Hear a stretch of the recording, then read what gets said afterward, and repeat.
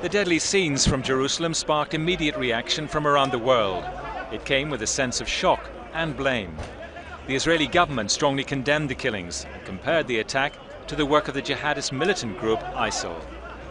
This morning's horrendous terror attack in Jerusalem against innocent worshippers is motivated by the same hatred, by the same Islamist extremism uh, that beheads innocent uh, civilians in Iraq and Syria.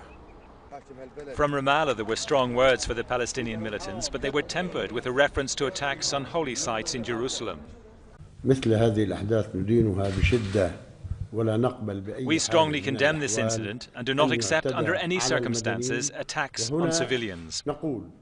At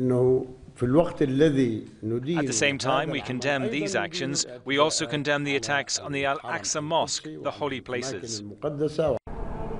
The area of Al-Aqsa in the Old City of Jerusalem is the third holiest site in Islam and has been the focus of renewed tension between Palestinians and Israelis.